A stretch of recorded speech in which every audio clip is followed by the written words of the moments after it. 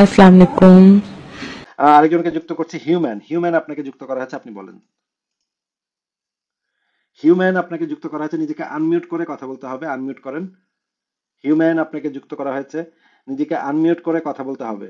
না আপনি নিজেকে আনমিউট করছেন না তাহলে বিদায়। হ্যাঁ আপনি আনমিউট করেছিলেন একবার। হ্যাঁ বলেন। হ্যাঁ বলেন। জি ভাই ভালো আছেন? শুনতে হ্যাঁ পাচ্ছেন? ভালো আছি। হ্যাঁ শুনতে পাচ্ছি বলেন। আচ্ছা ভাই আমি তো আসলে আমি যে বাংলাদেশ থেকে বলতেছি ঢাকা থেকে বলতেছি আর কি। আচ্ছা আচ্ছা বলেন। আমি আপনার এই যে একটা স্ট্যাটাস দেখলাম তিন দিন আগে আপনি এই যে বাংলাদেশের যে বর্তমান পরিস্থিতি এই পরিস্থিতি আপনি একটা স্ট্যাটাস দিছিলেন। হ্যাঁ। আমি আসলে ভাই একটা প্রবলেমে পড়ছি বুঝছেন? আমি তো আসলে আপনি তো নিরপেক্ষ জায়গা থেকে বলছেন আমি আসলে নিরপেক্ষ থাকতে পারতেছি না। বুঝতে পারছেন? আচ্ছা আর এটার আসলে সমাধান আমি আসলে নিরপেক্ষ থাকতে চাইতেছি। এখন এটার কোনো হেল্প করতে পারেন আমাকে কোনো দিক নির্দেশনা দিয়ে? ভাই আপনি নিরপেক্ষ মানে বুঝলাম না কথাটা ভাই আপনি নিরপেক্ষ থাকতে চাচ্ছেন কিন্তু থাকতে পারতেছেন না মানে এই বিষয়টা কি আসলে? আমি যে ছাত্রদের মানে পক্ষে চলে যেতেছি শেখ হাসিনা যেটা শুরু করছে এটা মানে আমার কাছে ভালো লাগতেছে না কিন্তু আবার মনে হচ্ছে যে ব্যাপারটা আসলে ঠিক ঠিক হচ্ছে না। এতগুলা ছাত্র মারা গেল আবার ছাত্ররাও পুলিশে মারলো হ্যাঁ? তো আমি হ্যাঁ এরকম দ্বিধাদ্বন্দ্ব করতেছি। সেই ক্ষেত্রে আপনার কি কোনো দিক নির্দেশনা আমি পাইতে পারি? আমার দিক নির্দেশনা আপনার লাগবে কেন আপনার চিন্তা আপনার আমার চিন্তা আমার। আমি যেটা মানে যতটুকু দেখছি সেটার উপরে আমি সিদ্ধান্ত নিতে চেষ্টা করি। আপনি যতদূর দেখছেন সেটার উপর আপনি সিদ্ধান্ত নিতে চেষ্টা করবেন। কিন্তু আমাদের সবসময় চেষ্টাটা এটাই থাকা উচিত যে যুক্তি তথ্য প্রমাণের উপর ভিত্তি করে যেন আমরা সিদ্ধান্তটা নেই। কোনো আবেগের উপরে আবেগের বশবর্তী হয়ে কোনো সিদ্ধান্ত যেন আমরা না নিই বা প্রিজুডিস দ্বারা আক্রান্ত হয়ে যেমন ধরেন আমার পরিবার আওয়ামী লীগ পরিবার। এখন আমি আমার যদি এরকম থাকে যে আওয়ামী লীগরে আমি একটু সাপোর্ট দিব এটা তো হচ্ছে প্রিজুডিস এটা হচ্ছে পূর্ব ধারণা, পূর্ব ধারণার বশবর্তী হয়ে আমি কোনো একটা পক্ষকে পক্ষের পক্ষপাতিত্ব করলাম। সেটা যেন না করি, সেটা হচ্ছে আমার পয়েন্ট তো এখন আসলে মানে আমার পরিবারও আওয়ামী লীগ করে, আমিও নিজেও আওয়ামী লীগের ভক্ত ছিলাম বাট রিসেন্টলি অনেক ইনসিডেন্টসের কারণে আমি আসলে একটু মানে আওয়ামী লীগের বিপক্ষে চলে গেছি এক প্রকার। হ্যাঁ তো আসলে এটার কি কোনো মানে আমি নিরপেক্ষ থাকার জন্য মানে আমি আসলে চিন্তা ফিরে পেতেছি না। বুঝছেন? এটা হচ্ছে সমস্যা। আচ্ছা কিন্তু আমার তো মনে হয় না এটা কোনো সমস্যা। আমার তো মনে হচ্ছে এরকম মানে মানুষের তো এই সরকারি সরকার তো আসলেই বাংলাদেশের সরকার তো এটা আসলে একটা ডিক্টেটরশিপ চলতেছে। এটা তো এই বিষয়ে তো সন্দেহের কোনো কারণ নেই। মানে হ্যাঁ। সন্দেহের কিছু নাই আসলে।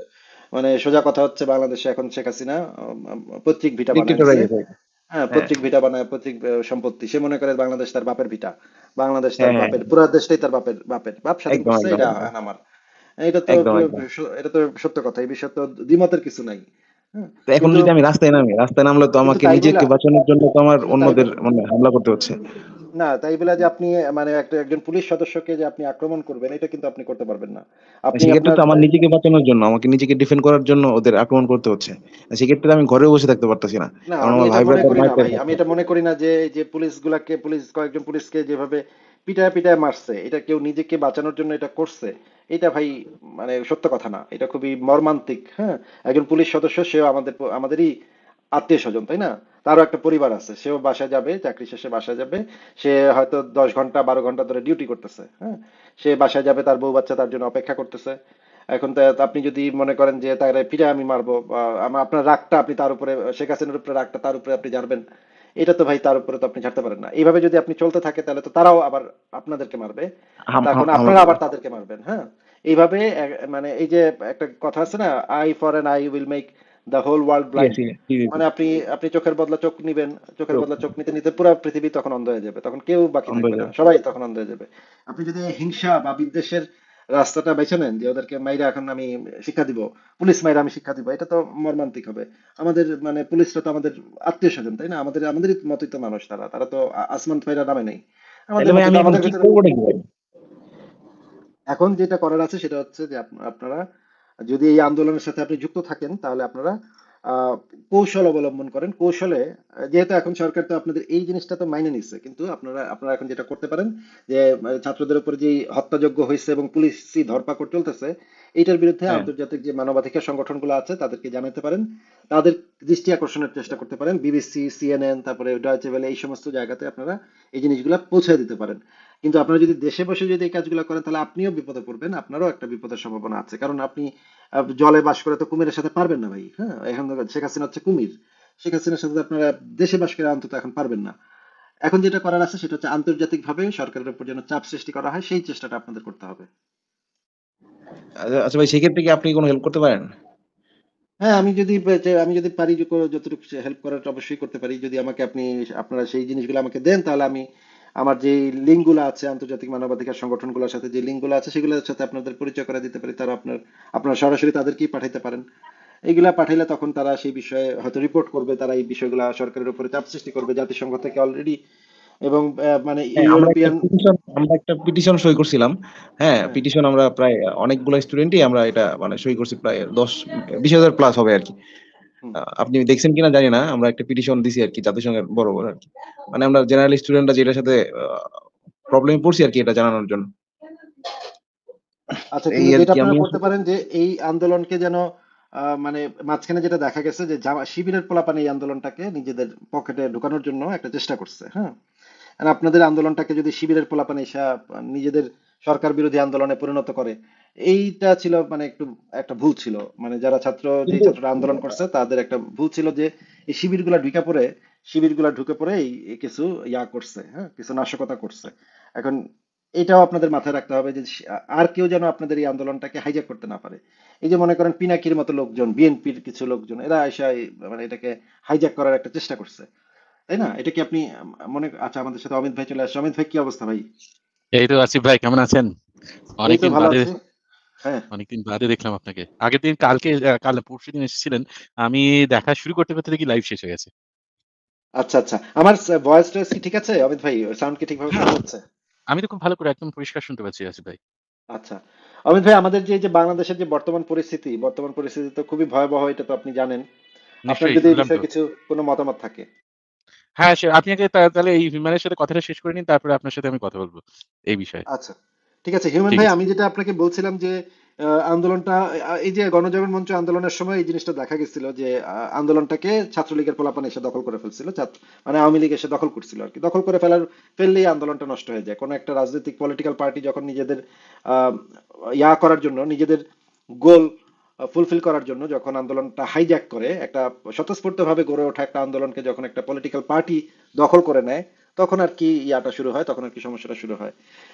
হিউম্যান ভাই আপনি কি এই বিষয়ে একমত যে কিছু শিবিরের পোলাপান এটাকে ক্যাশ করার চেষ্টা করছে বা বিএনপির লোকজন ক্যাশ করার চেষ্টা হ্যাঁ আমি একমত আমি নিজেও হ্যাঁ আমি নিজেও দেখছি কিছু শিবিরের প্রলোভন আমাদের সাথে ছিল।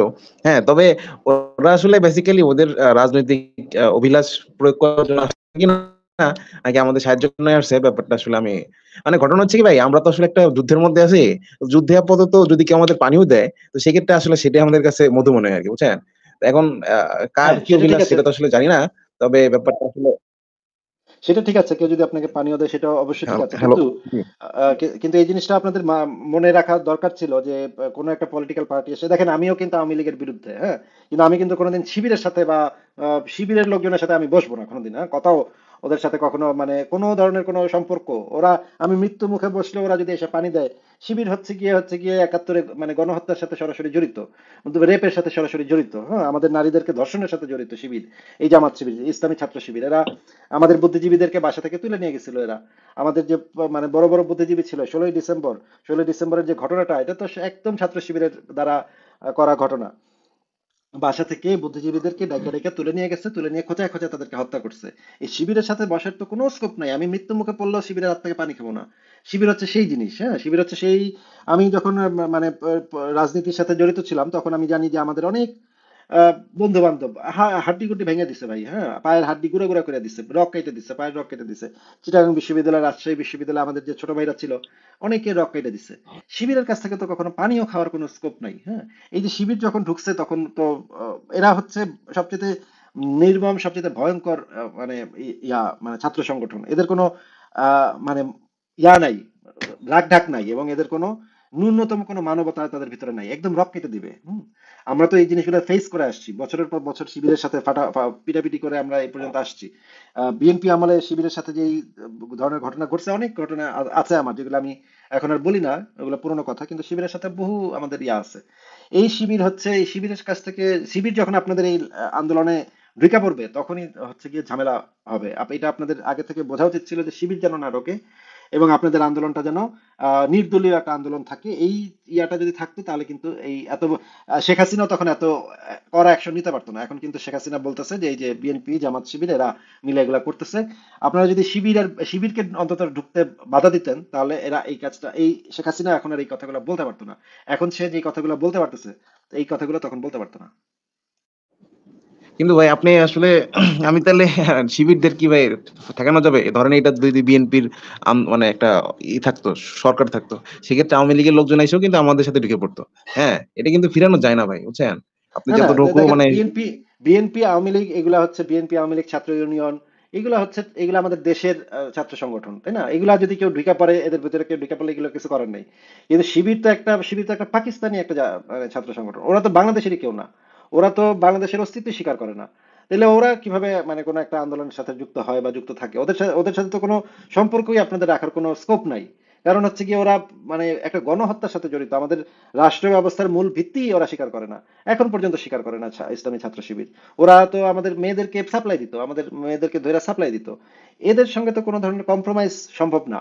বাদ বাকি যে ছাত্র সংগঠন আছে, ইসলামী ছাত্র ইউনিয়ন, ছাত্র ফ্রন্ট তার ছাত্র মৈত্রী তারপরে তোমার ছাত্রলীগ ছাত্র দল এইগুলো আমাদের দেশের হ্যাঁ? এইগুলোর ভিতরে যদি কোনো একটা ইয়া হয়, কোনো একটা ভালো হতে পারে, কোনো একটা খারাপ হতে পারে। কিন্তু শিবিরের সাথে তো কখনো কোনো কোনো ধরনের সম্পর্ক থাকতেই পারে না। আমার, আমি মনে করি কোনো একটা আন্দোলনে শিবিরকে কখনো আগে দেখে দেখে নিতে হবে, এটার ভিতরে শিবির আছে নাকি? শিবির বাদ, তারপর ওই আন্দোলনটা করতে হয় হ্যাঁ?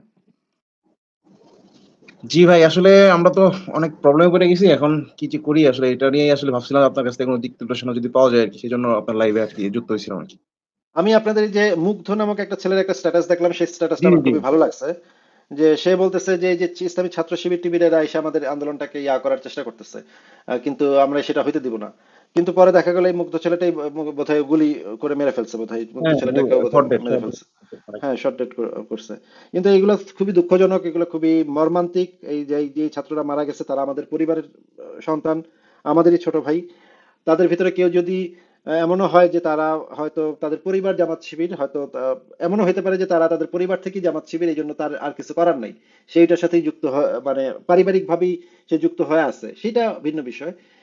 কিন্তু যারা হচ্ছে বুঝা শুনে একদম ছাত্র শিবির বা ইসলামী, জামাত ইসলামী, এদের এজেন্ডা কিন্তু ভিন্ন। এদের জিনিসটা মাথায় রেখে প্রত্যেকটা আন্দোলন, আন্দোলনে আপ- আপনাদের ইয়ার করাটা দরকার। আর এখন আপনারা যেটা করতে পারেন যে আন্তর্জাতিক সংগঠনগুলার ইয়া করতে পারেন তাদের দৃষ্টি আকর্ষণ করতে পারেন যে আপনাদের সাথে কি হইতেছে। আমি জানি যে কি হইতেছে সরকার একটা মানে সতেরো বছরের একটা বাচ্চাকেও তারা রিমান্ডে দিচ্ছে পাঁচ দিনের রিমান্ডে দিচ্ছে খুবই মানে আমি দেখলাম আজকে ঢুকেই দেখলাম আমি যে সতেরো বছরের এই এই বাচ্চাকে তো এ তো বাচ্চা এখনও সতেরো বছর তার মানে সে এখনও প্রাপ্তবয়স্ক না। সে তো এখনও বাচ্চা তাই না? একে তো মানে এ জি। তো এখনও প্রাপ্তবয়স্ক হয়নি তাহলে একে এখন কীভাবে মানে এই রিমান্ডে দিলেও তো এটা শিশু উই আন্ডারে পড়বে শিশু আইন যে শিশু আইনের ভিতরে পড়বে। তাকে কীভাবে রিমান্ডে দিলে এবং রিমান্ডে তাকে কি করবে এটা তো আমরা বুঝতেছি যে রিমান্ডে নিশ্চয়ই এখন ছেলেটারে মানে খুব ভয়ঙ্কর অবস্থা ছেলেটার করবে। এবং সব আন্দোলনের সব ছাত্রদের সাথে এই ধরনের কাজ করা হচ্ছে বলে আমি শুনছি। এটা তো খুবই ভয়ঙ্কর ব্যাপার। কিন্তু আমাদের তো আমি এখন আপনাকে কি বলব? আমার তো কিছু বলার নেই ভাই। বুঝতে পারছি ভাই। আচ্ছা ঠিক আছে ভাই। ওকে আমি আপনাকে ফেসবুক একটা নক দিবেন আপনি যদি সময় পান আমার প্রোফাইল একটু দেখেন নাকি ঠিক আছে ভাই? আচ্ছা ঠিক আছে ঠিক আছে। ঠিক আছে। আচ্ছা ভালো থ্যাংক ইউ ভাই। আসসালামু আলাইকুম। ঠিক আছে ভালো থাকেন আপনার উপরে শান্তি বর্ষিত হোক ঠিক আছে। আহ, ভাই বলেন হ্যাঁ কি অবস্থা বলেন? এই তো চলছে আর আপনার কি খবর? আপনার কেমন চলছে? এই তো আমি গত দুই সপ্তাহ অনেক ব্যস্ত ছিলাম বিভিন্ন পারিবারিক কারণে দুই সপ্তাহেরও বেশি আর কি আমি ব্যস্ত ছিলাম। এখন আর কি ফ্রি হয়েছি কিন্তু ফ্রি হয়ে দেখি যে পুরো বাংলাদেশের অবস্থা তোলপাড় তাণ্ডব ঘটে গেছে বাংলাদেশে। আমিও মাঝে মাঝে মাঝেও দেখছি জিনিসগুলা নিউজগুলা দেখছি কিন্তু এত মনোযোগ দিতে পারিনি কারণ ব্যস্ততা ছিল এখন পরে যখন মানে মনোযোগ দিয়ে দেখলাম তখন দেখলাম খুবই ভয়ঙ্কর ঘটনা ঘটে গেছে ভাই বাংলাদেশে নিশ্চয়ই, নিশ্চয়ই, অবশ্যই। তবে সত্যি করেই আমি কিন্তু একটা জিনিস সত্যি মানে আমার একটা জিনিস খুবই ভালো লেগেছে যে বাংলাদেশের মানুষের সমস্ত ছাত্রদের বিশেষ করে তাদের এমন একটা সাহস আছে, তারা এমন একটা সাহসিকতার পরিচয় দিয়েছে। সত্যি মানে গভর্নমেন্টের বিরুদ্ধে রুখে দাঁড়ানোটা কিন্তু সত্যিই একটা সহজ কাজ নয়। গভর্নমেন্টের হাতে প্রচুর পরিমাণ শক্তি থাকে। তারা যেকোনো সময় প্রশাসনিক যেকোনো আ মানে মেজার যা আছে সেগুলোকে সমস্ত কিছুকে ব্যবহার করতে পারে। তারা পুলিশ নামাতে পারে, র‍্যাফ নামাতে পারে, মিলিটারি নামাতে পারে। কিন্তু তার এগেইনস্ট গিয়ে ছাত্রটা যেরকম ভাবে বিরোধিতা দেখিয়েছে, এই কোটা সিস্টেমের বিরুদ্ধে, এটা কিন্তু সত্যিই আমার খুব মানে কমেন্ডেবল জব মনে হয়েছে। আমি এর জন্য মানে সত্যিই মানে প্রতিটা ছাত্র, ছাত্রীকে যারা এই আন্দোলনে অংশ নিয়েছে, তাদের সত্যিই আমি মানে আ সত্যিই আমি তাদের কি বলব মানে কনগ্রাচুলেট তো না মানে কি বলব মানে তাদের, তাদেরকে অভিনন্দন জানানোর ভাষা আমি সত্যিই খুঁজে পাচ্ছি না। মানে তারা সত্যিই তারা একটা অসাধারণ সাহসিকতা দেখিয়েছে। বিশেষ করে আমি যখন শুনেছিলাম আসিফ ভাই, যে এই যে কোটা যেটা দেওয়া হচ্ছে, সেটা তো আমি জানতাম না, প্রথমত কনটেক্সট জানতাম না। তারপরে শুনলাম, এটা নাকি সেই যে মুক্তিযোদ্ধা যারা ছিলেন, তারা সত্যিই মানে একটা বিশাল কাজ করেছেন সেই মুক্তিযোদ্ধারা সে বিষয়ে কোনো সন্দেহ নেই।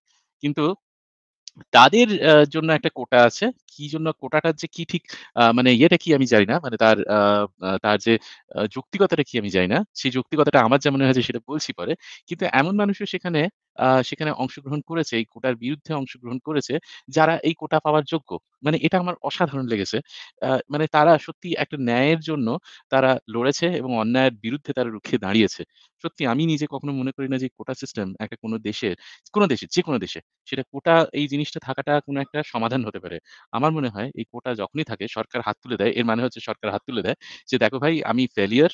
আমি এই জিনিসটা আমি সত্যিই কিছু মানুষকে আমি সত্যি তাদের তাদের আমি সেই মিনিমাম অধিকারটুকু আমি দিতে পারিনি। তাদেরকে আমি যোগ্য করে তুলতে যেটুকু প্রয়োজন সেই জিনিসটা আমি করতে পারিনি। এ নাও ২ ৪ টে কোটা আর যারা তোমরা ব্যাকওয়ার্ড ইয়ে থেকে আছো, আ একটা এরিয়া থেকে আছো, তারা এই নাও কোটা যাতে তোম তোমরা আসতে পারো।"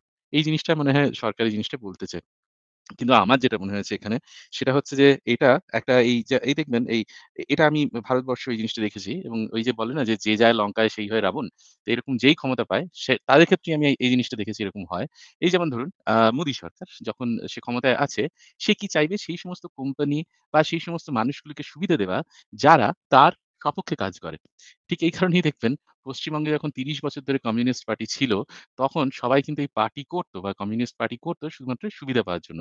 কিছু না কিছু সুবিধা পাওয়ার জন্য। সেটা ছাত্র রাজনীতি হোক, সেটা তার পরের লেভেলের কোন রকম রাজনীতি হোক, যেকোনো জায়গাতেই তারা যে পার্টি করত, পার্টি অফিসে গিয়ে যে চা বিড়ি খেত, সেটাও কিন্তু এরকম না যে তারা একেবারে বিশাল মানবদরদী, তারা সমাজের জন্য বিশাল কিছু করছে। এরকম যে খুব বেশি মানে লোক ছিল না তা না।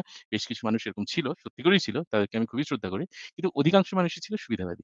এইখানে এই 30% কোটা করে আমার যেটা মনে হয়েছে, যেটা করার চেষ্টা করেছে এই এই গভর্নমেন্ট, সেটা হচ্ছে যে নিজের যারা সমর্থক তাদেরকে শুধুমাত্র এইখানে বসিয়ে তাদের সমর্থনটা বাড়িয়ে এমন একটা মানে একটা স্বৈরাচার একটা স্বৈরাচারী একটা একটা একটা গভর্নমেন্ট গড়ে তোলার চেষ্টা করেছে। আসিফ ভাই আমি কিন্তু সত্যিই মানে যেকোনো ধরনের কোটা সেটা ইন্ডিয়াতে SC, S ST, OBC quota হোক বা যেকোনো ধরনের কোটা আমি কোটার বিরোধী। 1% ও কোটা থাকতে পারে না। অনেক সময় অবশ্যই দেখা যায় যে ইয়েতে এই কর্পোরেটে অনেক সময় একটা এই যে ইভেন আমি এই যে নারী কোটা, এই নারী কোটারও বিরোধী। কিন্তু কর্পোরেটে অনেক সময় কি হয়? অনেক সময় দেখা যায় যে মেয়েদেরকে নিতে চায় না। কারণ তাদের অনেক সময় মেয়েরা মেয়েরা অনেক সময় প্রেগনেন্সির জন্য তারা একটা মেটার্নিটি লিভে যায়। তারা হয়তো অনেক সময় তারা ওই একটা সময় তাদেরকে স্পেন্ড করতে হয়। তো সেই সমস্ত আবার হয়তো এরকম এরকম হয় যে একটা অনেকক্ষণ দেরি করে হয়তো তারা অফিসে থাকতে পারে না। তাদেরকে ছেড়ে দিতে হয়। এরকম কিছু, কিছু অসুবিধা থাকে বলে অনেকে প্রেফার করে না। সেই প্রেফারেন্সটা যাতে এরকম যাতে কেউ যাতে বায়াস না হয় তার জন্য অনেক সময় মোটিভেট করা হয়। যাতে মেয়েদেরকেও সুযোগ দেওয়া হয়। কিন্তু দেখবেন কোঅপারেটিভ কিন্তু এরকম কোনো রকম কোটা থাকে না। এই কোটাটা এই জিনিসগুলো কিন্তু আমি খুব এই কোটা জিনিসটা, এই জিনিসটা আমি খুবই বিরোধী। আমার মনে হয় এই কোটা কিন্তু মানুষের মধ্যে একটা বৈষম্য গড়ে তোলে। আমি নিজেও দেখেছি যে সমস্ত কলেজে কলেজে যখন ছিলাম তখন যে এসসি, এসটি, ওবিসি বলে যারা আসতো সেই কোটাতে যারা আসতো তাদের সাথে রীতিমতো বৈষম্যমূলক আচরণ করা হতো। এবং সেটা শুধুমাত্র যে শুধুমাত্র যে ইয়েতেও না ইয়েতেই মানে মেডিকেল কলেজেই সেরকম নয়। ইভেন আইআইটি তেও আমি দেখেছি এই জিনিসটা করা হয়। এই ধরনের ঘটনাগুলো প্রচুর ঘটেছে। আমার মনে হয় মানুষকে একটা গভর্নমেন্টের উচিত কোটা না দিয়ে এমন একটা সুবিধা তৈরি করা যারা ব্যাকওয়ার্ড যারা, যারা হয়তো সেই সুবিধাটা পাচ্ছে না, তাদের জন্য এই সুবিধাটা তৈরি করে দেওয়া। সেরকম একটা কাজ করতে পারে। আর এই কোটা সিস্টেমটা আমার মনে হয় না খুব একটা খুব একটা একটা সাস্টেইনেবল কোন একটা সিস্টেম বলে। আমি কিন্তু অমিত ভাই আমি আচ্ছা কিন্তু কোটা হ্যাঁ। সিস্টেমের পক্ষে। আমি কিন্তু মনে করি যে কিছু অংশ কোটা অবশ্যই একটা রাষ্ট্রে কিছু অংশ কোটা অবশ্যই রাখতে হবে। কারণ হচ্ছে এটা পৃথিবীর বিভিন্ন দেশেই আছে। উন্নত সভ্য রাষ্ট্রগুলোতে এই কোটা জিনিসটা আছে। আমি যেমন ধরেন এইখানে একটা সরকারি অফিসে যাই। সেটা হচ্ছে যে যেখানে আমার ইয়াটা করাইতে হইছে, ভি ভিসা করাইতে হইছে বা মানে আমার সিটকে নিয়ে কানিজকে নিয়ে সেই ভিসা করানোর যে অফিস, সেই অফিসে গেলেই আমি দেখতে পাই যে সেখানে আ যারা হচ্ছে আমার ফাইলটা ইয়া করবে, দেখবে তাদের মধ্যে একজন ব্যক্তিকে একটা মানুষকে আমি দেখি সে হচ্ছে গিয়ে প্রতিবন্ধী। হ্যাঁ? সে হচ্ছে গিয়ে ঠিকভাবে কথা বলতে পারে না এবং হাঁটতেও ঠিকভাবে পারে না। খোঁড়ায়, খোঁড়ায় হাঁটে এবং তার কথা শুনলেই আপনি বুঝতে পারবেন সে একজন মানে স্পেশাল একজন একটা স্পেশাল চাইল্ড চাইল্ড ছিলেন হ্যাঁ মানে এই ব্যক্তি জন্য একটা নির্দিষ্ট ইয়া রাখা হয়েছে যে এই যতগুলা পজিশন থাকবে এই অফিসে ততগুলোর ভিতরে টেন পার্সেন্ট থাকবে পার্সেন্টেজটা আসলে আমি এক্স্যাক্টলি জানি না এখন ভুলে গেছি তখন পড়ছিলাম কিন্তু একটা পার্সেন্টেজ থাকে যে এই পার্সেন্টেজটা এদের মধ্যে থেকে নিতে হবে যারা হচ্ছে স্পেশালি চ্যালেঞ্জ তাদের থেকে নিতে হবে তাদের ছাড়া নেওয়া যাবে না ওই তা নাহলে ওই জায়গা ফাঁকা থাকবে ওইটা যদি না পাওয়া যায় ওই জায়গাটা ফাঁকা থাকবে। মানে নিতেই হবে। যে ইন্টারভিউ নিচ্ছে, সে নিতে আসলে বাধ্য হবে ওই একজন ব্যক্তিকে। কারণ ওই ওই ওদের মধ্য থেকেও একজনের রিপ্রেজেন্টেশন যেন সরকারি অফিসের ভিতরে থাকে এবং তারা এবং অন্য যারা, তারা একই পজিশনে থাকবে। এখন এই যে, যেই ছেলেটা, যেই লোকটা, যে ভদ্রলোকটা এই পজিশনে একটা ভালো পজিশন সেটা ভালো পজিশন পর্যন্ত আসতে পেরেছে, এটা কিন্তু তার কিন্তু একজন সাধারণ ছেলের থেকে তার কিন্তু হয়তো তিন গুণ, চার গুণ পরিশ্রম করে এই পর্যন্ত তার পৌঁছাতে হয়েছে সে একজন চ্যালেঞ্জ মানুষ, সে একজন স্পেশাল মানুষ। তার এই পজিশন পর্যন্ত আসতে, এই কোটাটার সুবিধাটা নিতেও তার একজন স্বাভাবিক যে মানুষ তার থেকে অনেক বেশি পরিশ্রম তার করতে হয়েছে। এই পর্যন্ত সে আসতে পারছে। এই কোটা জিনিসটা যদি তার জন্য না থাকতো, তাহলে কিন্তু সে কখনো, তাকে কখনোই নেওয়ার কোনো স্কোপ ছিল না। এখন তার, সে হ্যাঁ এটা হতে পারে যে সে কিছু কিছু ভুল করে ফেলতে পারে যেহেতু তার একটা মানে একটা সাইকোলজিক্যাল বা ফিজিক্যাল কিছু সমস্যা আছে এটার সমস্যাগুলোর কারণে তার কিছু ভুল ভ্রান্তি হতে পারে। সেই জিনিসটা অন্যরা মিলে একটা টিম হিসেবে সেই জিনিসটাকে ট্যাকেল করতে হবে। আহ, হ্যাঁ একটা টিমের ভিতরে কিছু থাকবে একটু স্ট্রং কিছু থাকবে একটু দুর্বল কিন্তু as a as a team যখন জিনিসটা কাজ করবে তখন এই টিম আইকিউটা টিমের যে টোটাল আইকিউটা মানে একটা গ্রুপের যে আইকিউ সেই আইকিউটা কিন্তু বেশি হবে। সেটার ভিতরে নানা ধরনের মানুষ থাকবে নানা বৈচিত্র্যময় একটা আহ, ইয়া থাকবে। ওই গ্রুপটার ভিতরে একটা ভেরিয়েশন থাকবে। সেই ভেরিয়েশনের কারণে তাদের গ্রুপ আইকিউটা অনেক স্ট্রং হবে গ্রুপ আইকিউটা অনেক হাই হবে। এটাই এখন আহ, উন্নত বিশ্বে এই জিনিসটা দেখা হয়। আবার যেমন ধরেন এটা তো একটা জিনিসের কথা বললাম। যেমন ধরেন বাংলাদেশের যে পার্বত্য অঞ্চল পার্বত্য অঞ্চলে যে জিনিসটা হয় যে তাদের যে স্কুল তাদের একটা চাকমা বাচ্চাকে বাংলায় পড়ালেখা করতে হয়। এই বাংলা তো তার মাতৃভাষা না ভাই হ্যাঁ? বাংলা তো সে তো বাংলা ভাষার লোক না। সে বাংলা ভাষার সাথে কোনো ধরনের তার দূর দূরান্ত পর্যন্ত কোনো সম্পর্ক নাই। সে হচ্ছে চাকমা সে হচ্ছে মারমা সে হচ্ছে সাঁওতাল বা সে হচ্ছে কোনো একজন একটা আদিবাসী ইসে থেকে আসছে সে। বাংলা তার সাথে- তার জন্য কোনো ইয়া না। বাংলা সে বাঙালিও না ইনফ্যাক্ট সে বাঙালিও না। সে সে বাংলাদেশের নাগরিক এবং তা সে দেখতে পাচ্ছে যে সে তার মাতৃভাষায় পড়ালেখাটা করতে পারতেছে না। এটা তার জন্য একটা প্রতিবন্ধকতা হ্যাঁ? এখন এই প্রতিবন্ধকতাটা তো সরকারের কিছু করার নেই এখানে। সরকার যখন পাঠ্যপুস্তক প্রণয়ন করে তখন ক্ষুদ্র জাতিগোষ্ঠী যেগুলো আছে প্রত্যেকের জন্য আলাদা আলাদা বই প্রণয়ন করা স্কুল মানে স্কুল সিস্টেম তৈরি করা এইটা আমাদের বাংলাদেশ সরকারের জন্য একটা বিরাট চ্যালেঞ্জ হয়ে হয়ে যেতে পারে। এই কারণে বাংলাদেশ সরকার যেটা করে সেটা হচ্ছে হ্যাঁ বাংলাদেশ সরকারও এটা জানে যে আহ, চাকমাদের হয়তো ভিন্ন একটা ভাষায় পড়ালেখা করে এই পর্যন্ত আসতে হইতেছে। এটা তাদের জন্য একটা স্ট্রাগল এই স্ট্রাগলটাকে ইয়া করার জন্য তারা যে কাজটা করে চাকরিতে বা স্কুলে একটা পার্সেন্টেজ দিয়ে রাখে যে এই পার্সেন্টেজ তারা যেন সুযোগটা পায়। আবার যেমন ধরেন একটা হিজড়া বাচ্চা হ্যাঁ এই হিজড়া বাচ্চার জন্য একটা কোটা রাখতে হবে। কারণ একটা স্কুলে যখন যদি সেই স্কুলে বলে দেয় যে আমরা হিজড়া বাচ্চাকে নিব না হ্যাঁ আহ, সরকারের রাষ্ট্রটা তো নাগরিকদের ইসে দেওয়ার জন্য তাদের যে অধিকারটা যেন সংরক্ষিত হয় সেটার জন্যই তো আমরা রাষ্ট্র গঠন করি তাই না? এখন রাষ্ট্র যদি। কোনো কোনো খবরদারি যদি না করে রাষ্ট্র তো একটা খবরদারি এখানে এসে করতে হবে স্কুলে এসে বলতে হবে যে তুমি এটা নিতে বাধ্য তুমি এই এত পার্সেন্ট এই এই মানুষদেরকে নিতে বাধ্য। যেমন ধরেন একটা একটা মনে করেন যারা হচ্ছে সেক্স ওয়ার্কার সেক্স ওয়ার্কারের ছেলে সে একটা স্কুলে ভর্তি হবে তার বাবার কোনো নাম নেই হ্যাঁ বাবার কোনো পরিচয় নেই। সে যখন একটা স্কুলে ভর্তি হতে আসতেছে এখন যদি স্কুল কর্তৃপক্ষ বলে যে না তোমার তো বাবার পরিচয় নেই তোমার নিব না। এই টাইপের যারা মানুষ আছে যারা হচ্ছে সমাজে নানাভাবে বৈষম্যের শিকার তাদের যে বৈষম্যের শিকার আবার বলছি যারা হচ্ছে বৈষম্যের শিকার তাদেরকে প্রোটেক্ট করার রাষ্ট্রের দায়িত্ব তাদের জন্য অবশ্যই কোটা রাখতে হবে। কোটা আমি সম্পূর্ণ সমর্থন করি এবং বিশেষ করে যারা হচ্ছে গিয়ে নারী, যারা হচ্ছে একেবারে নিম্নবিত্ত পরিবার থেকে যে নারীরা উঠে আসে, তারা ওঠার চেষ্টা করতেছে কিন্তু স্কোপটা পাচ্ছে না। তারা একটা পড়ালেখা করতে চাচ্ছে কিন্তু পড়ালেখা করার, নিজের ফ্যামিলি থেকে তাদের স্ট্রাগল আছে, নিজের ফ্যামিলিতে স্ট্রাগল আছে, নিজেদের এলাকাতে স্ট্রাগল আছে। এই স্ট্রাগলগুলো পার হয়ে তারা কোনো মতে যদি স্কুল পর্যন্ত পৌঁছতে পারে রাষ্ট্রের দায়িত্ব হচ্ছে তারা যেন স্কুল থেকে একদম ইউনিভার্সিটি পর্যন্ত পৌঁছে যেতে পারে, সেই ব্যবস্থাটা একদম স্মুথলি যেন তারা যেতে পারে, সেই ব্যবস্থাটা করে দেয়া রাষ্ট্রের দায়িত্ব বলে আমি মনে করি। আমি মনে করি যে হ্যাঁ এই মেয়েরা যারা একেবারে নিম্নবিত্ত পরিবার থেকে বা ধর্মান্ধ পরিবার থেকে স্কুল পর্যন্ত আসতে পারছে, যদি আসতে পারে, রাষ্ট্রের দায়িত্ব হচ্ছে সে যেন সেই স্কুল থেকে ইউনিভার্সিটি পর্যন্ত যাইতে পারে। সেই পুরা যাত্রাটা যেন তার খুব স্মুথ হয় এই এই দায়িত্বটা রাষ্ট্রে নিতে হবে। কারণ আমাদের মানে রাষ্ট্র ব্যবস্থাতেই আমাদের সমাজ ব্যবস্থাতেই নারীরা নারীদেরকে নানাভাবে বৈষম্যের শিকার করা হয়। এই যে বৈষম্যের শিকার যারা তাদের জন্য কোটার আমি সম্পূর্ণ পক্ষে। কিন্তু যারা বৈষম্যের শিকার না তাদের জন্য হুদাহুদি কোনো একটা কোটা দিয়ে তাদেরকে একটু বেশি সুবিধা দেওয়া এটা আমি এটাকে আমি ইয়া মনে করি এটা এটা অবশ্যই কোটার একটা ভুল প্রয়োগ। যারা আসলে কোনো বৈষম্যের শিকার না তাদেরকে কেন কোটা দিতে হবে? যারা একটা আগে তো আইডেন্টিফাই করতে হবে কারা বৈষম্যের শিকার।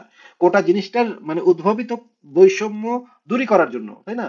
এখন যদি এই যে মুক্তিযুদ্ধের যারা সন্তান তারা তো কোনো বৈষম্যের শিকার না। কোথাও তো এমন না যে তোমার মুক্তিযুদ্ধের সন্তান হলে তোমার চাকরি দিব না। এরকম তো কোনো সাইকোলজিও নাই। সমাজের ভেতরে এই ধরনের কোনো ইয়াও নাই। মানে আহ, যে ধরেন মানুষের ভেতরে একটা মানসিকতা থাকে না ও আহ, মুক্তিযোদ্ধার সন্তান ওরা আমি চাকরি দিব না। এটা তো কেউ বলে না আমাদের কোনো জায়গাতে এই ধরনের কিছু নাই।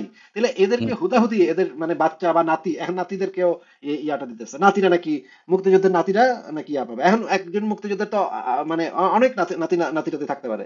সবাইরে যদি এখানে এই এই ইয়াটা দেওয়া হয় এটা তো একটা বিপদ। আমি এই কোটাটার বিরোধিতা করি কিন্তু আমি অ্যাজ এ হোল কোটা সিস্টেমের বিরোধী বিরোধী না। আচ্ছা আসিফ ভাই এখানে তাহলে একটা প্রশ্ন করি। এই যে আপনি এই যে চাকমার একটা কথা বললেন, এই যে ধরুন তারা তাদেরকে একটা তাদের মানে একটা একটা চাকমা একটা ছেলে বা ধরুন একটা সাঁওতাল একটা ছেলে। একে আমি কি করলাম? একে আমি একটা মেডিকে মেডিকেল কলেজে সিট দেওয়ার জন্য একে একটা একটা একটা একটা একটা কোটা তৈরি করলাম। যে ধরুন মেডিকেল কলেজে ১০০ টা সিট আছে। সেখানে ৫% বা ৫ জন এরকম হচ্ছে পাবে। এরকম চাকমা এরকম বা হচ্ছে সা শিডিউলড কাস্ট বা শি শিডিউলড ট্রাইব যারা আছে তারা পাবে। তো এই ৫ জনের মধ্যে ধরুন একজন হচ্ছে প্রত্যন্ত একটা গ্রাম থেকে উঠে এলো। এইবারে যে উঠে এলো সে এই কলকাতাতে বা ধরুন হচ্ছে ঢাকায় বা কোনো একটা দিল্লিতে এইমসে বা ধরুন পিজিআই চন্ডিগড়ে সেখানে একটা পড়াশোনা করল। সমস্যাটা হচ্ছে আসিফ ভাই, এই যে পড়াশোনাটা করল, পড়াশোনা করে সে কিন্তু আর ওই কমিউনিটিতে ফিরে যায় না। সে হয়তো ওই দিল্লিতেই এইমসেই ধরুন সাফদারজং বা এই ধরনের কোনো একটা ভালো একটা কলেজে সে হয়তো চাকরি নিল এবং সে ওই একটা ছেলে কিন্তু বেনিফিটেড হলো বা ধরুন ওই ৫ টা ছেলেই কিন্তু বেনিফিটেড হলো। এরকমও না যে প্রত্যেক বছর পাঁচটা ছেলে এরকম বেনিফিটেড হচ্ছে ওই একই অঞ্চল থেকে সেরকম কিন্তু না। তার মানে এবার সে কিন্তু এবার এবার মানে এইখানে কোটা দেওয়ার একটা প্রবলেম কি জানেন তো? মানে যেটা আমি মনে করি যে এই যে একে কিন্তু কোনোভাবে আর ফোর্স করছে না গভর্নমেন্ট যে তুমি এই কমিউনিটিতে ফিরে যাও। তুমি যে শিক্ষাটা শিখেছো সেই শিক্ষাতে সেই জিনিসটা নিয়ে তুমি তোমার তোমার যদি মনে হয় যে তোমার মাতৃভাষাতে কোনো বই নেই, তুমি সেই এফোর্ট টা দাও, সেটাও কিন্তু সে করে না। কিন্তু এটা তো এটা তো রাষ্ট্রের পক্ষে করা আদৌ কখনো সম্ভব না। কারণ যে কোনো মানুষকে যদি রাষ্ট্রের পক্ষে তো এইটুকুই শুধুমাত্র করা সম্ভব যে লেভেল প্লেইং ফিল্ডটা তৈরি করা যে হচ্ছে যারা একটু পিছায় পড়া আছে তাদেরকে সেই যেই কারণগুলাতে সে পিছায় পড়া সেই কারণগুলা সলভ করে দেয়া সেই কারণগুলা সলভ করে দেয়া যদি না যায় তাহলে তাকে একটু আগায় দেয়া বা তাকে একটা টুল দেয়া যে টুলটা দিয়ে সে একটু আগায় থাকবে। আহ, তার সে কারণে সে যেই মানে গ্যাপটা তার হয়ে গেছে অন্য আরেকজন ছাত্রের সাথে যে গ্যাপটা তার তৈরি হয়েছে সেই গ্যাপটা ফুলফিল করার চেষ্টা করাটাই তো রাষ্ট্রের কাজ। কিন্তু পরবর্তীতে সে কি করবে সেটা তো আর রাষ্ট্র সেইভাবে ডিসাইড করে দিতে পারবে না। সে যদি মনে হ্যাঁ, করেন বিদেশে চলে যেতে চায় বিদেশে চলে যেতে চায় এখানে তো রাষ্ট্র আর কিছু করতে পারে না। রাষ্ট্রের পক্ষে কিছু করা সম্ভব না। রাষ্ট্র শুধুমাত্র এইটুকু করতে পারে যে তাকে সেই গ্যাপটা ফুলফিল যেন হয় তার যে সে তার মাতৃভাষাতে পড়ালেখাটা করতে পারেনি। সায়েন্সের একটা সাবজেক্ট মাতৃভাষাতে করতে পারলে তো সবচেয়ে ভালোভাবে বোঝা যায় জিনিসটা তাই না? সবচেয়ে রিয়ালাইজ করা যায় জিনিসটা যে এই জিনিসটা আসলে কি। কিন্তু যদি সেটা মাতৃভাষাতে যদি না হয় অন্য একটা বিদেশি ভাষাতে যদি পড়তে হয় তাহলে বিদেশি ভাষাটা আগে শিখে তারপরে ওই ওই জিনিসটা করতে হয়। এইটা করাটা তো একটা ডিফিকাল্ট কাজ। সায়েন্সে তো এটা খুবই ডিফিকাল্ট একটা কাজ বিদেশি একটা ভাষাতে। আমাদের সব বইপত্র সায়েন্সের সমস্ত বইপত্র তো ইংরেজিতে। এটা একটা বিপদ এটা একটা বিপদ হয়ে যায়। তারপরেও আমরা আমরা করতে বাধ্য হচ্ছি এখানে কিছু করার নাই। যদি আমাদের সামর্থ্য থাকতো তাহলে তো আমরা মাতৃভাষাতেই করতাম। আর চাকমা ছেলেটার জন্য তো এটা আরও বেশি স্ট্রাগল কারণ তার আগে বাংলায় পড়তে হচ্ছে। কিছুদিন বাংলায় পড়ে আবার কিছুদিন পর দেখা যাচ্ছে তারপরে আবার ইংরেজিটাও পড়তে হচ্ছে তার। তার মানে তার কয়বার ট্রান্সলেশন করতে হয়। মগজ মাথার ভিতরে কয়বার তার ট্রান্সলেশন করতে হচ্ছে আপনি চিন্তা করেন। তার একটা শিক্ষা ব্যবস্থার ভিতরে সে বাংলা পড়ছে। বাংলা পড়ার পরে সে ইউনিভার্সিটিতে আসছে। ইউনিভার্সিটিতে এসে সে ইংরেজিতে আবার এটা পড়তেছে। তার মানে ইংরেজি থেকে সে প্রথমে বাংলায় কনভার্ট করতেছে। বাংলা থেকে তখন তার চাকমা ভাষায় জিনিসটাকে কনভার্ট করে মানে ট্রান্সলেট করে তারপরে তার বুঝতে হচ্ছে আসল জিনিসটা কি। এটা তো তার জন্য একটা মানে ট্রিপল স্ট্রাগল তাই না? এই কারণে আমি মনে করি যে তাদের জন্য অবশ্যই এই ধরনের যারা মানুষ এবং একটা ইয়া আছে আপনি যদি আহ, দেখেন যে বিভিন্ন স্কুল আছে এই যে ইন্ডিয়াতে বিভিন্ন বড় বড় স্কুল আছে সেই স্কুলে অনেক ধনী ধনী বাচ্চা কাচ্চারা পড়ে হ্যাঁ? মানে হ্যাঁ, কয়েকটা স্কুল আমি একটা সিনেমা দেখছিলাম সিনেমাটার নামটা এখন আমার খেয়াল নাই। সেটার ভিতরে একটা কোটা ছিল যে কি যেন আহ, আচ্ছা না না তার একটা সিনেমার ভিতরে দেখাচ্ছিল যে যে একটা দরিদ্র পরিবারের মানে ছেলেও ড্রাইভারের ছেলে বা মানে ঘণ্টা বাজায় যে তার ছেলে, সেও চায় যে তার ছেলেটা যেন এই স্কুলে পড়ুক, এই স্কুলে অ্যাডমিশন নিতে পারুক।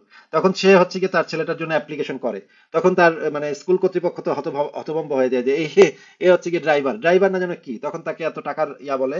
সেই বাচ্চাটা আবার খুবই মেধাবী ছিল। সেই বাচ্চাটা মানে মেধা তালিকায় সে আসছে কিন্তু সে তো এই টাকাটা দিতে পারবে না। তখন হ্যাঁ। তার জন্য অনেক তখন একটা ইয়া রাখা হয় যে এটার জন্য একটা কোটা রাখা হয় যে ওই স্কুলে বড় ধনী পরিবারের অনেকেই পড়তে পারবে কিন্তু একটা পোর্শন থাকবে যেটা দরিদ্র মানে পরিবার থেকেও কিছু ছাত্রছাত্রী সেখানে নিতে হবে নিতে বাধ্য করা হবে স্কুলটাকে। তখন তারা ওই কোটাটার কারণে কিছু দরিদ্র ছেলেকেও নিতে বাধ্য মানে বাধ্য থাকে। এটা যখন করা হয়েছে তো এইরকম জিনিসগুলো যখন বিভিন্ন দেশে অ্যাপ্লাই করা হয়েছে তখন দেখা গেছে যে দরিদ্র ফ্যামিলির যদি কয়েকটা ছেলে পেলে সেই ধনী স্কুলগুলোতে থাকে তাহলে সেই যে ধনী স্কুলের যে বাচ্চাগুলা তারাও এই জিনিসটা দেখতে পারে সরাসরি নিজের চোখে দেখতে পারে যে দরিদ্র ফ্যামিলিতে যে স্ট্রাগলটা তা একটা সময় তার বন্ধু বান্ধবী হয়ে যায় তারা বন্ধুই হয়ে যায় একটা সময় তখন তারা দেখতে পারে যে এই স্ট্রাগলটা কতটুকু। এটা হচ্ছে একটা নেটফ্লিক্সে একটা সিরিজ দেখছিলাম আমি এখন মনে পড়তেছে একটা সিরিজ দেখছিলাম যে একটা একটা মুসলিম পরিবার থেকে একটা ছেলে আসে একটা আহ, দরিদ্র পরিবার থেকে একটা ছেলে আসে তারা ওই কোটা সিস্টেম দিয়ে তারা ওই একটা ধনী স্কুলে ঢুকে যায়। ওই ধনী স্কুলে ভারতের সবচেয়ে বড় বড় বিলিয়নিয়ারদের বাচ্চা কাচ্চারা পড়ে। কিন্তু ওই গরিবগুলা গরিবগুলো গরিবগুলো ঢুকে গেছে। প্রথম প্রথম তারা তাদেরকে খুব দূর দূর করে কিন্তু পরে একটা সময় বন্ধু হয়ে যায়। কি যেন একটা ক্রাইম থ্রিলার বা সিরিজ এই আমি না- নামটা মনে আস- আসতেছে আমি একটু সার্চ করে দেখি আপনাকে পরে বলতেছি। ঠিক আছে আসিফ ভাই। ওকে। তাহলে আসিফ ভাই একটা জিনিস তাহলে আহ, আচ্ছা তাহলে আমি মানে আমার পার্সপেক্টিভ আমি চেঞ্জ করছি। আহ, তাহলে আহ, এরকম আমরা ইয়ে করতে পারি, এরকম আমরা বলতে পারি বা এরকম আমরা এরকম একটা বিচার করে দেখতে পারি যে কোটা সিস্টেম কোন জায়গাতে প্রয়োজনীয় মানে utmost necessary সেটা আমরা বিচার বিবেচনা করে সবার সাথে গোটা আপ আপ মানে আপামর জনসাধারণের সাথে বিচার বিবেচনা করে সেরকম আমরা একটা স্ট্র্যাটেজি নিতে পারি যে আচ্ছা এই জায়গাতে আমরা একটা ইয়ে করতে পারি, একটা কোটা আমরা দিতে পারি যে মানুষগুলোকে আপগ্রেড করার জন্য। তবে আসিফ ভাইয়া এই জিনিসটা এই যে এই চাকমার এই যে ছেলেটার কথা বললাম, এখানে সরি আমি সরি একটা সমস্যা সরি অমিত হ্যাঁ, ভাই আপনি হ্যাঁ, কি একটু sure. পাঁচ মিনিট কথা বলবেন আমি একটু গেটটা খুলে আসি হ্যাঁ, আসিফ ভাই ঠিক আছে, ঠিক আছে। ওকে, ওকে। আচ্ছা আমি একজনকে দেখলাম এখানে তিনি লিখেছেন যে অমিত দা অমিত ভাইয়ের কাছে আমার একটা প্রশ্ন সেটা পরে দেখছি। দাঁড়ান এখানে একজন আমি হাইলাইট করেছিলাম। তিনি বললেন যে আমার বিশ্লেষণটা ভুল। হ্যাঁ, হতে পারে। হ্যাঁ, অমিতের বিশ্লেষণটা ভুল হচ্ছে। সরকার মুক্তিযুদ্ধ কোটায় নিচের লোক বসানো। এটা হতে পারে। আমি বাংলাদেশের পলিটিক্যাল সিচুয়েশন জানি না। তবে আমার মনে হয়েছিল আপাতদৃষ্টিতে দেখে যে এইটা একটা হয়তো এরকম একটা ইনটেনশন থাকতে পারে। তার মানে আমি আমি যেটা বলতে চাইছি আরকি যে, আমরা এরকম দেখতে পারি যে, আমি একদমই ক কোটার বিরুদ্ধে যদিও, মানে কোটা সিস্টেমটারই আমি বিরুদ্ধে। তবে যখন যদি লজিক থাকে এর পেছনে, যদি এর পেছনে কোন রকম একটা যেমন আসিফ ভাই যেমন কতগুলো কথা বলছিলেন, সেরকম যদি আমরা দেখি যে কতগুলো কেস বাই কেস আমরা যদি বিচার বিবেচনা করে দেখি, তখন কিছু বেনিফিটস আমরা অবশ্যই দেখছি। যেমন আসিফ ভাই একটা খুব কথা খুব সুন্দর বলেছেন, যেটা আমার খুবই ভালো লেগেছে। একজন একজন স্পেশালি এবলড যারা, তাদের জন্য একটা কোটা, তাদেরকে নিতেই হবে এই কাজে। বা কিছু, কিছু কাজ তাদের জন্য থাকবেই সংরক্ষিত। নিশ্চয়ই। এখানে তো আমাদের কিছু করার নেই। তাকে যতদিন না আমাদের কাছে যে ফিজিক্যালি চ্যালেঞ্জ বা সাইকোলজিক্যালি চ্যালেঞ্জ এমন কিছু মানুষ যেমন কিছু মানুষ থাকতে পারে যারা ডাউন সিনড্রোম। তা তাদেরকে দিয়ে আমি এরকম মানে তারা তো অনেক সময় এটা হতে পারে যে আমি নিজেও হয়তো যখন ইন্টারভিউ নেব কোনো একটা পজিশনের জন্য আমাদের আমার কাজের কোনো একটা পজিশনের জন্য একটা একটা একটা হতে পারে একটা কোন রকম একটা পজিশনের জন্য, ম্যানেজার কোনো পজিশনের জন্য বা ডিরেক্টর কোন পজিশনের জন্য আমি হয়তো একজন একজন ডাউন সিনড্রোম এর মানুষকে হয়তো আমি নিতে চাইব না। কিন্তু যদি এরকম একটা কোটা থাকে নিশ্চয়ই তাদেরকে যদি আমাকে যদি ফোর্স করা হয় তখন আমি অবশ্যই সেখানে বিচার করে দেখব বা সেরকম একটা সেরকম মানুষদেরকে আমি নোবো এবং তারাও একটা সুযোগ পাবে তাদের জীবনে উন্নত হওয়ার। এই জিনিসটা কিন্তু এই জিনিসটা কিন্তু সত্যি মানে আমার ভালো লেগেছে আসিফ ভাই। এই জিনিসটা কিন্তু আমি সত্যি মেনে নিচ্ছি আসিফ ভাই। তবে এই যে চাকমাদের কথা বলছিলেন আসিফ ভাই বা এই যে ধরুন এই শিডিউল ট্রাইব বা শিডিউল কাস্ট যারা আছেন, এদের ক্ষেত্রে আমি একটা সমস্যা এটা দেখি যে ভারতবর্ষে এটা সমস্যা হয়েছে। এরা ওই প্রত্যন্ত অঞ্চল থেকে যেমন মেদিনীপুর বা পুরুলিয়ার প্রত্যন্ত অঞ্চল থেকে, বীরভূমের প্রত্যন্ত অঞ্চল থেকে কিছু মানুষ উঠে আসে বটে। কিন্তু সেই ৫০ বছর আগে বা স্বাধীনতার আগে তাদের যে অবস্থা ছিল, এখনও কিন্তু মানে আজ থেকে প্রায় পঁচাত্তর বছর হয়ে গেল। তাদের অবস্থা কিন্তু সেরকমই রয়ে গেছে। সেখানে না আছে স্কুল, না আছে কলেজ, না আছে একটা ভালো ভালো একটা একটা প্রাইমারি হেলথ সেন্টার। তাদেরকে একটা না আছে একটা একটা একটা কোন রকম কোন মানে কোনো ফেসিলিটি, জলের কোনো বন্দোবস্ত, একটা হেলথি ওয়াটার কোনো বন্দোবস্ত, এরকম কোনো কিছুই নেই। আমরা এই কারণে আমার মনে হয় যে মনে হয়েছিল বা মনে হয় এখনও খানিকটা যে এই যে কোটা দিয়ে কিছুটা মানে আইওয়াশ করা হয়েছে যে তোমাদেরকে কোটা দিয়েছি। তোমরা উঠে এসো এখান থেকে এবং তোমরা ওইখানে ওই শহরে চলে যাও সেরকম একটা আই ওয়াশ করা হয়েছিল বলে আমার মনে হয়। তবে আপনার সাথে কিন্তু খানিকটা একমত আছি ভাই। কিন্তু অমিত ভাই এটা হ্যাঁ, তো একমাত্র এটাই যে মানে মানে একটা পিছিয়ে পড়া জনগোষ্ঠীকে তুলে আনার জন্য এটাই যে একমাত্র পদ্ধতি সেটা কিন্তু না আমি বলছি না। মানে অনেকগুলা পদ্ধতি আছে অনেকগুলা কাজ করতে হয় একসাথে যেমন স্কুল তৈরি করা পানি মানে স্কুল তৈরি করা থেকে শুরু করে স্বাস্থ্য সেবা দেওয়া অনেকগুলা কাজ একসাথে করলে তখন সেই পিছিয়ে পড়া জনগোষ্ঠীটা ধীরে ধীরে তাদের ভিতরে ইয়া আসে মানে পরিবর্তনটা আসে। এ- এইটাই নিশ্চয়ই। একমাত্র কাজ না যে আমরা কোটা দিয়ে দিলাম কোটা দিয়ে মানে তা তোমরা খুশি থাকো কোটা পেয়ে খুশি থাকো সেটাই আমি সেটা বলছি না। কিন্তু কোটাটাও রাখতে হবে। আপনি নিশ্চয়ই জানেন যে ভারতে বাংলাদেশেও এমন অনেক আহ, দরিদ্র পরিবার আছে যারা মনে করেন মাসে যাদের ইনকাম পঞ্চাশ টাকার নিচে এরকমও কিন্তু আছে হ্যাঁ? আপনি আপনার আমাদের হয়তো এই জিনিসটা কল্পনা করতে আমরা আমরা আসলে কল্পনাই করতে পারি না যে কীভাবে এটা সম্ভব। পঞ্চাশ টাকা মাসে ইনকাম পঞ্চাশ টাকা এটা কীভাবে সম্ভব? কিন্তু এরকম আছে বাংলাদেশে ভারতে এমন অনেক দরিদ্র মানে গ্রাম আছে যে গ্রামগুলার মানে পুরা গ্রামের আপনি ইনকাম যদি আপনি হিসাব করেন তাহলে দেখবেন ওই পুরা গ্রামের মাসিক ইনকাম হচ্ছে আপনার হয়তো একদিনের আমার আপনার একদিনের খরচ হ্যাঁ? একদিনের ইয়া খাওয়ার খরচ। এখন এইরকমের একটা পরিবারে এরকম একটা পরিবারে যে বাচ্চাটা মানে বেড়ে ওঠে তাদের কি পরিমাণ স্ট্রাগল করে তাদের হাতটায় টাতরায় সেই পর্যন্ত যাইতে হয় এবং কি পরিমাণ চেষ্টা করতে হয় তাদের এইটা এইখানে যদি রাষ্ট্র কিছুটা হেল্প না করে ভাই, তাহলে তো সেই বাচ্চাদের সাথে খুবই মানে বেইনসাফি হয়ে যাবে তাই না? তাদের সাথে তো তাদের তো এমনিতেই হয়তো তাদের বাবা হয়তো তাকে দিয়ে খেতে কাজ করায় সেই খেতে কাজের মাঝখানে মাঝখানে হয়তো সে একটু পড়ার সুযোগ পায়।